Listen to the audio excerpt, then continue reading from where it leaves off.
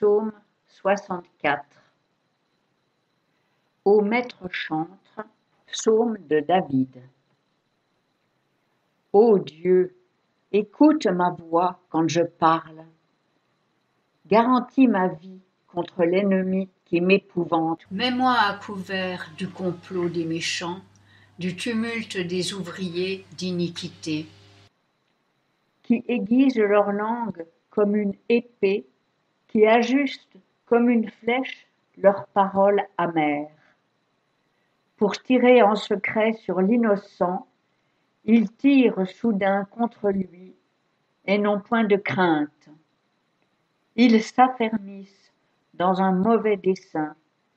Ils ne parlent que de cacher des pièges. Ils disent Qui le verra? Ils inventent des fraudes. Nous voilà prêts. Le plan est formé. Et leur pensée secrète, le cœur de chacun est un abîme.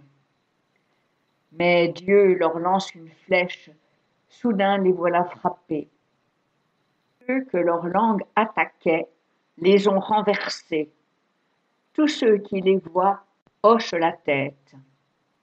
Les hommes sont tous saisis de crainte.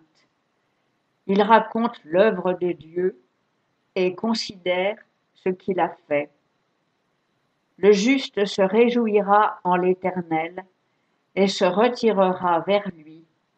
Tous ceux qui ont le cœur droit s'en glorifieront.